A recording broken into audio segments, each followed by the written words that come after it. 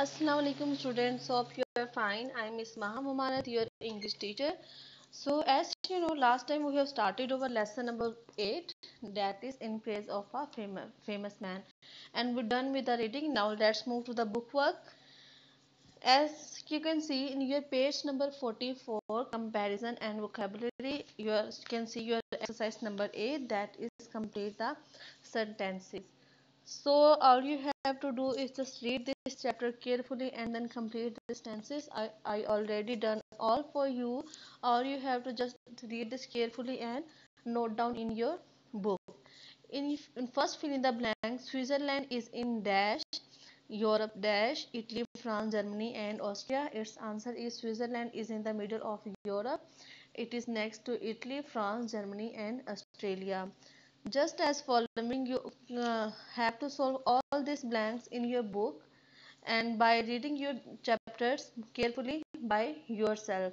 Now let's move to the exercise number B that is complete each sentences by adding one word. It's mean you have to add only one word to complete the sentences not a full line so i done this already for you all you have to just all you have to do is just note down this fill in the blanks in your notebook and learn it number one is switzerland is very dash as you can read in your chapter that switzerland is a very beautiful country so its answer is beautiful number two at the beginning of the story the swiss were not dash its answer is free number three australians made dash laws australians made cruel laws Number 4. William Tell was a da very dash man. William, William Tell was a very brave man. So just as following, note down this, fill in the blanks in your notebook in the page number 44. Now, let's move to the page number 51. As you can see in your page number 51, there is exercise number B. Exercise number B that is complete these sentences. One example is given to you that is he usually sit at the back of the desk but today he is sitting at the front.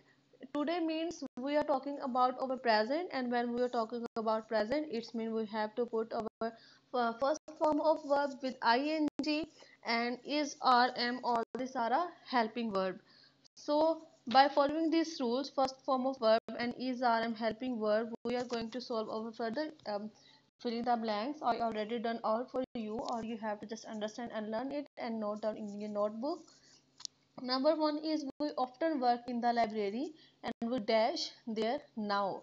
Now means we are talking about present and we will, when we were talking about present as you know I already told you we, are, um, we always put first form of verb with ing and uh, helping verb is is rm so here before the blank you can see the word we. We mean one or more person. So when we talk about we so we are going to put r क्योंकि we के लिए हम लोग plural word use करते हैं तो वो r लगता है और वर्क की वर्क की जब हम साथ ing लगाएँगे तो working आ जाएगा we often work in the library and were working there now just as following i often read exciting books and i am reading now we always play badminton in the evening and we are playing now we eat rice every day and we are eating rice now.